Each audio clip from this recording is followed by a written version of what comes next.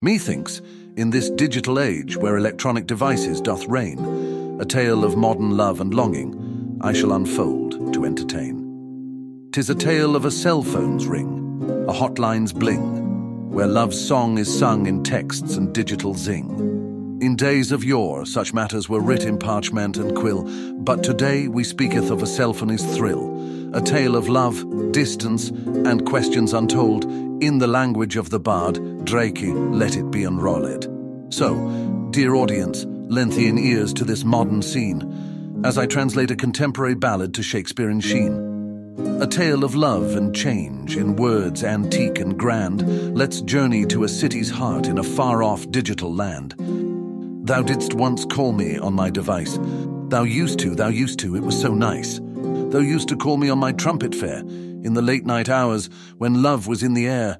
Call me on my device, thee did entreat, in the late night hours, when love's flame was replete. And I discern when that hotline doth sing, it can signify just one solitary thing. I discern when that hotline doth bring its chime, it signifies thou art thinking of me in thy prime. Since I departed this city's grand embrace, thou hast acquired quite a notable space.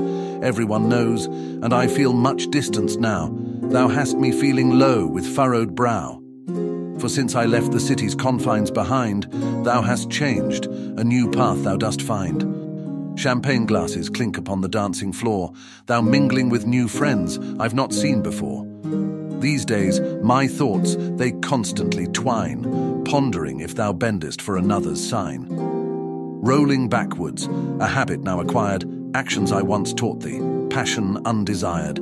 Thou needest no other, this I implore, no need for another, for thou art what I adore.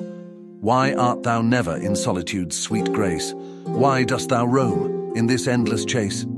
Thou once dwelt within the bounds of home's art, a virtuous maiden keeping a faithful heart. Now I pray thee, return to thy true self, for in this moment thou art someone else.